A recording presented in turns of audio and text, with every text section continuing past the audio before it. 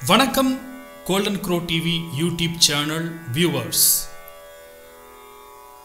இந்த பின்னணியில் இருக்கக்கூடிய நடராஜர் சிலை மிகவும் அழகு ததும்ப ததும்ப இருக்கக்கூடிய இந்த நடராஜர் சிலையை கண்டு வணங்குவதற்கு ஒரு மிகப்பெரிய புண்ணியம் செய்திருக்க வேண்டும் அப்படின்னு ஆரம்பித்து ஒரு ஆர்டிக்கிள் ஃபேஸ்புக்கில் படித்தேன் நீண்ட நெடிய பதிவது எழுத்துப்பூர்வமாக இருந்த எழுத்தாக்கம் செய்யப்பட்ட ஒரு நீண்ட பதிவுடன் இந்த நடராஜர் சிலை ஃபோட்டோ பதிவிடப்பட்டிருந்துச்சு முகப்புத்தகத்தில். பெரும்பாலும் நல்ல விஷயங்களோ கெட்ட விஷயங்களோ தேவையான விஷயமோ தேவையில்லாத விஷயங்களோ ரொம்ப பெருசாக இருந்துச்சுன்னா அதை அப்படியே ஸ்க்ரால் பண்ணிட்டு போயிடுறாங்க. இன்றைய இளம் தலைமுறையினர் மட்டுமல்லாமல் எல்லாருமே அப்படி தான் ஃபேஸ்புக்கில் பார்க்குறப்ப ரொம்ப இவ்வளோ பெருசு இருக்க அப்படின்னு சொல்லிட்டு அதை ஸ்கிப் பண்ணிட்டு போயிடுவாங்க. ஸோ எனக்கு அதை படித்து முழுமையாக படித்தோன்னே இந்த சிலை பற்றிய ஒரு அற்புதமான தகவல்களையும் ஒரு ஆன்மீகம் சம்பந்தப்பட்ட தகவலாக இருந்தாலும் ஒரு கலைநயமிக்க இந்த சிலை பற்றிய இந்த சிலை உருவான வரலாறு எழுதப்பட்டிருந்தது ஒரு கதையாக.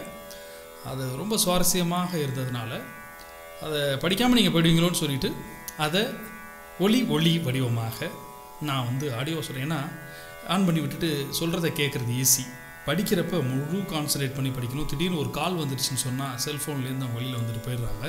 அதனால் இந்த தகவலை உங்களோடு பகிர்ந்து கொள்கிறேன். இது ஒரு அற்புதமான நடராஜர் சிலை.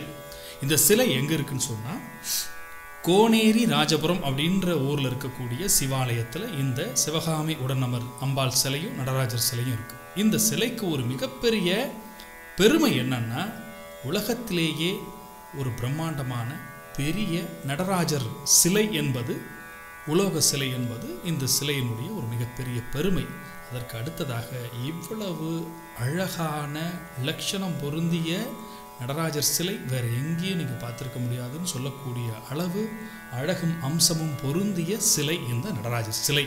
இந்த கோனேரி ராஜபுரம் எங்கே இருக்குன்னு சொல்லிடுறேன். தென்னக இசைகளுக்கெல்லாம் தாயாய் விளங்கி உலகாலும் ஈசனே அம்மையே என்று அழைத்த காரைக்காலிலிருந்து உலகை ஆண்டு கொண்டிருக்கின்ற சனீஸ்வர பகவான் ஆலயம் இருக்கக்கூடிய திருநள்ளாறு காரைக்கால் திருநள்ளார் வழியாக கும்பகோணத்திற்கு செல்லும் பொழுது கும்பகோணத்திலிருந்து ஒரு ஐந்து கிலோமீட்டருக்கு முன்பாக எஸ்புதூர் என்ற ஒரு ஊருக்கு மிக அருகாமையில் இருக்கிறது இந்த கோனேரி ராஜபுரம். இந்த வாய்ப்பு கிடைக்கக்கூடிய ஆன்மீக அன்பர்கள் பக்தர்கள் ரஸ் கலா ரசனை மிக்கவர்கள் அந்த கோனேரி ராஜபுரத்துக்கு சென்று இந்த அற்புதமான அழகான சிலையை நீங்கள் தரிசித்து வரலாம். இது கலைநயத்தோட கலைக்கண்ணத்தோ கண்ணோட்டத்தோடு பார்த்தீங்கன்னா சிலையை ரசிக்க போகலாம். ஆன்மீக அன்பர்கள் எம்பெருமானின் அருளை பெறுவதற்காக கோனேரி ராஜபுரம் போகலாம். இந்த கோவிலுக்கு இன்னொரு சிறப்பு என்னென்னா அங்கே இருக்கக்கூடிய வைத்தியநாத சுவாமியை தரிசித்து நமக்கு உடம்பு சரியில்லாட்டி சரி நம்மை சேர்ந்தவர்கள் உற்றார் உறவினர்கள் நண்பர்கள் யாருக்காவது உடல்நிலை சரியில்லாட்டியும் அவங்களுக்கு குணமாகணும்னு சொல்லி அந்த வைத்தியநாத சுவாமியை தரிசித்தால் அவர்களுக்கு நலமாகும் என்பது ஒரு ஐதீகம். இந்த கோனேரி ராஜபுரத்தில் இருக்கக்கூடிய இந்த நடராஜரை வழிபட்டு வந்தால் ஒரு பூமி வேண்டும் அப்படின்னு நினச்சி எனக்கு வந்து ஒரு சொந்தமாக எனக்குன்னு ஒரு நிலம் வேண்டும் அப்படின்னு சொல்லிட்டு நினச்சி வேண்டுனா அவர்களுக்கான அந்த வேண்டுதலை நிறைவேற்றக்கூடிய ஒரு சக்தி மிக்க சிவனாக இந்த ஆலயம் இருக்குன்னு சொல்கிறாங்க அடுத்தது இந்த சிலை பற்றிய அற்புதமான அழகான உலக பிரசித்தி பெற்ற இந்த சிலை உருவான கதை அதில் எப்படி குறிப்பிட்டிருச்சுன்றது அந்த கதையை சொல்கிறேன் கண்டராதித்தர் அவருடைய துணைவியார் செம்பியன் மாதேவி மகாராணியார் சோழ ராஜ்யத்திற்கு உட்பட்ட பல சிவ ஆலயங்களிலே சிலைகளை நிறுவக்கூடிய ஒரு ஆர்வத்தோடு மாமன்னர் கண்டராதித்தரும் அவருடைய துணைவியார் செம்பியன் மாதேவியும் ஈடுபடுறாங்க. அப்படி ஒரு சூழலில் இந்த கும்பகோணத்திற்கு அருகே இருக்கக்கூடிய கோனேரி ராஜபுரம் கோவிலில் ஒரு அற்புதமான நடராஜர் சிலையை நிறுவ வேண்டும் என்று மன்னர் கண்டராதித்தருக்கு எண்ணம் உருவாக உடனடியாக அவர் ஒரு ஸ்தபதியை ஒரு சிற்பியை ஏற்பாடு செய்கிறார் நல்ல ஒரு அற்புதமான சிற்பியை. இந்த சிலையை பார்த்தாலே தெரியும் அவர் எத்தகைய ஒரு அற்புதமான சிற்பி என்பது. அந்த சிற்பியை அமர்த்துறாங்க. அந்த சிற்பியும் வேலைகளை தொடங்குகிறார். சிலை என்பது சிலை வடிப்பது என்பதெல்லாம் இந்த இன்றைய காலகட்டம் போல் ஒரு ஈஸியான வேலை இல்லை. இன்றைக்கெல்லாம் நிறைய டெக்னாலஜி இருக்குது ஆள் பலம் இருக்குது எலக்ட்ரிக்கல் எலக்ட்ரானிக் கருவிகள் இருக்குது எந்திரங்கள் இருக்குது ஆனால் அன்றைய காலகட்டத்தில் அப்படியெல்லாம் அன்றைய காலகட்டம் என்பது என்ன? இந்த சிலை மற்றும் இந்த கோவிலினுடைய வரலாறு படி ஆயிரம் ஆண்டுகளை தொடக்கூடிய வரலாற்று சிறப்புமிக்க காலத்தால் முந்தைய ஒரு ஆலயம் அந்த கோனேரி ராஜபுரம் ஆலயம். இந்த சிலை அப்போ ஆயிரம் வருஷத்துக்கு முன்னாடி எந்த விதமான தொழில்நுட்பமும் இல்லாத காலத்தில் ஒரு அழகான சிலையை வடிப்பதற்கு ஒரு சிற்பி எவ்வளவு சிரமப்பட வேண்டும் என்பது நமக்கு தெரிஞ்சது. ஒரு சிலை என்பது முழுமையாக ஒரே அச்சில் வார்த்த சிலையாக இருக்கும். அதாவது ஒரு அச்சில் உலோகத்தை காய்ச்சி ஊற்றி ஒரே சிலையாக இருக்கும். கொஞ்சம் பெரிய சிலையாக இருந்தால் சில சில பல பகுதிகளாக பிரிக்கப்பட்டு அச்சில் வார்க்கப்படும். அதாவது நடராஜர் தன்னுடைய பாதத்திற்கு கீழே ஒரு பூதகணத்து மேல் நிற்கக்கூடிய ஒரு பீடம். அந்த பீடம் தனியாகவும் இந்த அழகான நடராஜ பெருமானுடைய அந்த முடி அது ஒரு பாகமாகவும் தரையில் அமைந்திருக்கக்கூடிய கங்கை கங்கை நதியிலிருந்து நீர் வரக்கூடிய அந்த பிறை நிலவு கங்கை உட்பட அந்த முடிகள் ஒரு பகுதியாகவும் திருவாச்சி என்று சொல்லக்கூடிய ஒளிவட்டம் போல் இறைவனை சுற்றி இருக்கக்கூடிய இந்த அந்த பகுதி ஒரு பகுதியாகவும் இரண்டு மூன்று பகுதிகளாக அச்சில் கொலைக்கலன்களில் வந்து கொள்கலன்கள் வந்து கொதிக்க வைத்த உலையிலிருந்து எடுத்து அந்த உலோகத்தை ஊற்றி வார்ப்பில் செய்வாங்க. ஒரே சிலையாகவோ நான் சொன்னது மாதிரி மூணு நான்கு பா அப்படி இந்த சிலைக்கு பீடம் ரெடி ஆகிடுச்சு அந்த திருவாச்சி ரெடி ஆகிடுச்சு அந்த மோ திருமுடி அழகான முடிகள் வந்து ரெடி ஆயிடுச்சு. சிலையை மட்டும்தான் தயார் செய்யணும். சிலையை செய்வதற்கு முயற்சி செய்யும் பொழுது தொடர்ந்து தோல்வியாக வருகிறது. ஃபெயிலியர் ஆகிட்டே இருக்கு. சிலை. கிட்டத்தட்ட ஒன்று இரண்டு மூன்று நான்கு ஐந்து முறை ஒவ்வொரு முறையும் வேறு வேறு உறுப்புகளில் விண்ணம் ஏற்படுகிறது. சிலையில்.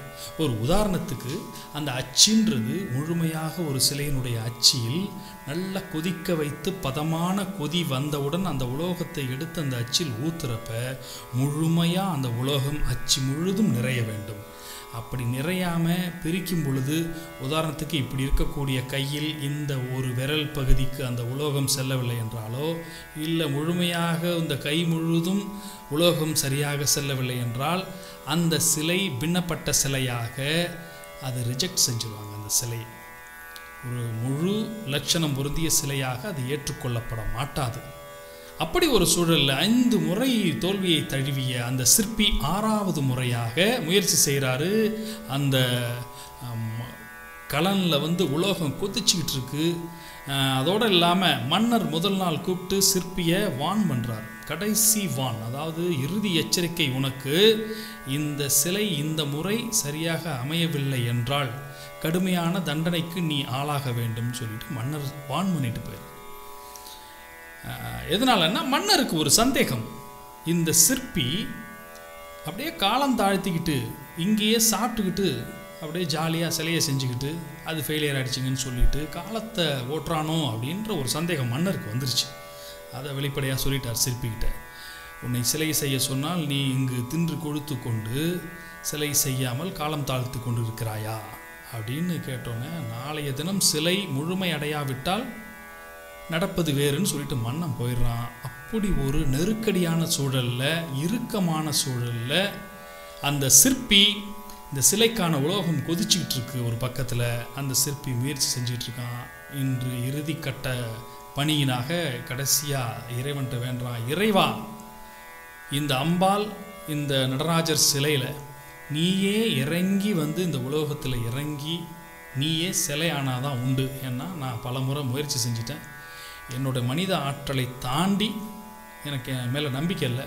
இதுக்கு மேலே நீதான் அப்படின்னு சொல்லிட்டு முழுமையாக சிவனை சரணாகதி அடைந்து சிலையை உருவாக்க முயற்சி செஞ்சிட்ருக்கிறான் அந்த நேரத்தில் ஒரு முதிய அந்தனரும் அவருடைய துணைவியாரும் இந்த சிலை செய்கிற இடத்துக்கு வர்றாங்க.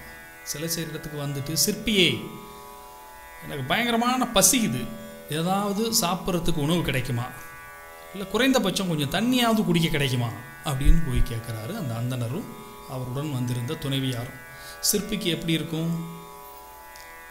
விடிந்தால் சிலை முழுமை பெறாவிட்டால் மன்னனுடைய தண்டனை மிக கடுமையாக இருக்கும். உயிருக்கு கூட சேதம் ஏற்படும். அப்படி ஒரு கடுமையான தண்டனை கிடைக்கக்கூடிய ஒரு சூழலில் இருந்துகிட்டு இருக்கிறோம்.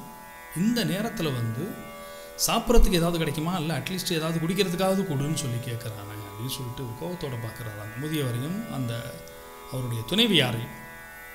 கோபத்தில் அந்த சிற்பி என்ன சொல்கிறாரு ஐயா பெரியவரே இங்கே ஒன்றும் உனக்கு உன் பசிக்கு உணவளிக்கிற மாதிரி இங்கே எதுவும் இல்லை. நீ வேணா போய் அந்த கொதிக்கலனில் உலோகம் கொதிச்சுட்டு இருக்கு அதை அள்ளி குடி. கோபத்தில் சொல்லுவாங்கள்ல சில பேர். இந்த இதான் இருக்குது இதை வேணால் எடுத்துக்கோ. அப்படின்னு கோபமாக சொல்கிற மாதிரி அவர் என்ன கோபத்தில் இருந்தால் அந்த முதியவர்கிட்ட சொல்கிறாரு அந்த கொதிக்க நல்ல அந்த உலோகம் இருக்குது அதை வேணால் எடுத்து குடி அப்படின்னு சொல்லிட்டு சொல்லிட்டு இப்படி அவர் வேலையை செஞ்சிட்ருக்கிறாரு. திரும்பி பார்க்குறாரு. வந்திருந்த முதியவர் தன்னிடம் இருந்த ஒரு சொம்பு போன்ற ஒரு உலோகத்தை எடுத்து அதில் விட்டு அந்த பாத்திரத்திலேருந்து மொண்டு கொதித்து கொண்டிருக்கக்கூடிய அந்த உலோக கொதியை எடுத்து கிட்டு கிட்டுன்னு குடிக்கிறார். அப்படியே ஷாக் ஆகி சிற்பி பார்க்குறாரு. என்ன கொதிச்சிட்டு இருக்கக்கூடிய உலோகத்தை எடுத்து குடிக்கிறாரே இந்த முதியவர்னு சொல்லிட்டு சு கூட உடன் இருந்த அந்த சிற்பியினுடைய ஆட்கள் எல்லாமும் அப்படியே பொதுமக்களோடு சேர்ந்து அப்படியே பார்க்குறாங்க என்ன அது என்ன நடக்குது இங்கேன்னு? திடீர்னு எல்லாரும் கத்துறாங்க. என்ன கத்துறாங்க? நல்லா கொதிச்சு வந்துட்டு இந்த சரியான பக்குவத்துக்கு அந்த கொதிகலன் உலோக கொதிகலன் வந்துருச்சு. அதை எடுத்து அந்த உலோகத்தை மழு எடுத்து அந்த அச்சில் ஊற்றுங்க சிற்பியேன்னு சொல்லிட்டு. டக்குன்னு இவர் இதை மறந்துட்டு ஏன்னா அந்த பக்குவம் கரெக்டான பக்குவத்தில் எடுத்து ஊற்றினா தான் அந்த அச்சு முழுதும் நிறைந்து முழுமையான சிலை வடிவம் கிடைக்கும். உடனே டக்குன்னு இவர் அந்த அந்தனர் அவர் முண்டு குடிச்சதெல்லாம் மறந்துட்டு இந்த உலோகத்தை எடுத்து ஊற்றி கீத்தி சிலைக்கு முழுசும் ஊற்றிட்டு பார்க்குறாங்க. அந்த அந்தனரை காணும். அந்த அந்தனரையும் அவருக்கு உடன் வந்த துணைவியாரையும் காணும். அப்படியே மயக்கடிச்சு விழுந்துடுறாரு. மயக்கடிச்சு விழுந்துறாங்கன்னா நான் அப்படியே களைப்பில் இங்கே நடந்த சம்பவத்தெல்லாம் நினச்சி அப்படியே ஒரு களைப்பில் அப்படியே சிற்பி உள்ளிட்ட அவர் கூட பணியாற்றிய அத்தனை பணியாளர்களும் அப்படியே கண்ணை மூடி அப்படியே மயக்க நிலையில் தூங்கிடுறாங்க. பொழுது விடிஞ்சு பார்த்தா அந்த அச்சிலிருந்து அச்சிலிருந்து சிலையை பிரித்தா ஒரு அற்புதமான அழகான சிலை இருக்குது மன்னர் வந்து பார்க்குறாரு. உடனே மன்னருக்கு அந்த சந்தேக புத்தி இன்னும் மாறலை. இத்தகைய அற்புதமான அழகான சிலையை வடிக்கக்கூடிய திறமை இருந்தும் இத்தனை முறை நீ அதை வந்து என்னை ஏமாத்திட்டு நீ பாட்டுக்கு அதை சரியாக செய்யாமல் இருந்திருக்கிற அப்படின்னு கோவப்படுறார். இது என்னடா அது? மன்னர் இப்பயும் கோபமாக இருக்கிறாரான்னு இரவு நடந்த சம்பவத்தை சொல்கிறார் மன்னா இது நான் செய்த சிலை அல்ல. அந்த உலகாலும் ஈசனும் அவருடைய துணைவையாரும் வந்திருந்து அந்த ரெண்டு பேருமே இந்த உலோகத்தோடு கரைந்து சிலையாகி இருக்கிறார்கள். நடந்த சம்பவத்தை சொன்னோன்னா மன்னனுக்கு சிரிப்பு வருது. என்னது வந்தாங்க கொதிக்கக்கூடிய அந்த மழுவிலிருந்து எடுத்து உலோக கரைசலை குடித்தாங்களா இதெல்லாம் நம்புகிற மாதிரியாக இருக்குன்னு சொல்லிட்டு அப்படி என்றால் இந்த சிலை நீ செய்த உலோகச் சிலை அல்ல. இரண்டு பேர் வந்திருந்து அவர்களே இந்த உலோகத்தோடு கலந்திருப்பதால் இந்த சிலைக்கு உயிர் இருக்குன்னு சொல்றியா? அப்போ ஒன்று செய்வோம். உயிரான சிலை என்றால் இந்த சிலையே இங்கே இருக்க ஒளியை எடுத்து நான் ஏதாவது ஒரு பகுதியில் தட்டுறேன். அதுலேருந்து ரத்தம் வருதா பார்ப்போம் அப்படின்னு சொல்கிறான் மன்னன். பேசிக்கிட்டே என்ன செய்கிறான் அருகில் இருந்த ஒளி எடுத்து சிலையினுடைய நடராஜரனுடைய காலிட்ட ஒரு குத்து குத்துறான் மண்ணை பீரிட்டு ரத்தம் கிளம்பி அந்த இடம் முழுதும் ரத்தமாகிறது. ம மண்ணை அப்படியே மயக்கம் அடித்து விழுந்துடுறான். என்ன நடந்துச்சுன்னு தெரியாமல் கொஞ்ச நேரத்துக்கெல்லாம் மன்னனுடைய உடல் உறுப்புகள் செயலிழந்துடுது கை கால்லாம் செயலிழந்து போயிடுது. உடனடியாக கதறி அழுகிறான் சிற்பிக்கிட்ட மன்னிப்பு கேட்குறான் இறைவன்கிட்ட மன்னிப்பு கேட்குறான்.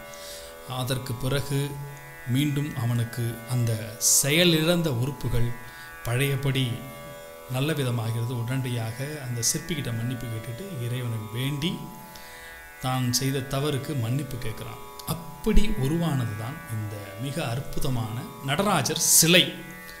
வாய்ப்பு கிடைப்பவர்கள் கும்பகோணத்திற்கு அருகில் இருக்கக்கூடிய அந்த கோனேரி ராஜபுரம் ஆலயத்திற்கு சென்று இறைவனை தரிசித்து இந்த அற்புதமான கண்கொள்ளா காட்சியுடைய இந்த நடராஜர் சிலையையும் தரிசித்து விட்டு வாருங்கள். இந்த சிலையினுடைய மிகப்பெரிய சிறப்புகள் என்னென்னா மனித ஒரு உயிருள்ள மனித உருவத்திற்கு என்னவெல்லாம் இருக்குமோ அத்தனை அம்சங்களும் நிறைந்த சிலை. உதாரணத்திற்கு கையில் இருக்கும் ரேகைகள் உடம்பில் இருக்கும் மச்சங்கள் உட்பட தத்ரூபமாக வடிவமைக்கப்பட்ட ஒரு அற்புதமான சிலை. உலகிலேயே பெரிய நடராஜர் சிலை. மிகவும் அழகான அம்பாள் உடன் நடராஜர் வீட்டிற்கும் இந்த அற்புதமான சிலையும் சிலையோடு அந்த முகப்புத்தக பதிவை பார்த்தோன்னே அதை உங்களோடு ஷேர் பண்ணிக்கிறதுக்காக நம்முடைய கோல்டன் குரோ டிவி யூடியூப் சேனலில் பதிவேற்றம் செய்திருக்கிறேன். பாருங்கள் ஷேர் பண்ணுங்கள் லைக் பண்ணுங்கள் கோல்டன் குரோ டிவி யூடியூப் சேனலை சப்ஸ்கிரைப் பண்ணுங்கள் நன்றி. கோல்டன் குரோ டிவி சப்ஸ்கிரைப் பண்ணுங்கள்